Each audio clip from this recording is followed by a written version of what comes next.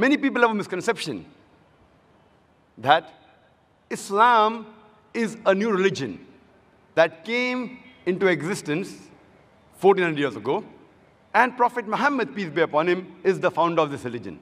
In fact, Islam is there since time immemorial, since man set foot on this earth. And Prophet Muhammad, peace be upon him, is not the founder of this religion, but he is the last and final messenger of Allah subhanahu wa ta'ala, of Almighty God, to whom was revealed the last and final message, the glorious Quran.